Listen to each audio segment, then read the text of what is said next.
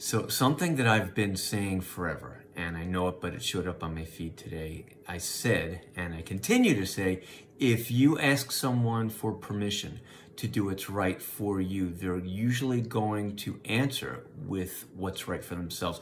See this everywhere. I see this in my students when I work at the school. I see this with my coaching clients. I see this with my counseling clients outside of there.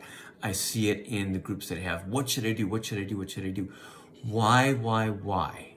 When you say you want to be free and make your own choices, are you constantly, I don't mean you, but why are people constantly asking everyone else what they should do when they don't have your circumstances? They're not looking out for your best interest, they're looking out for their own.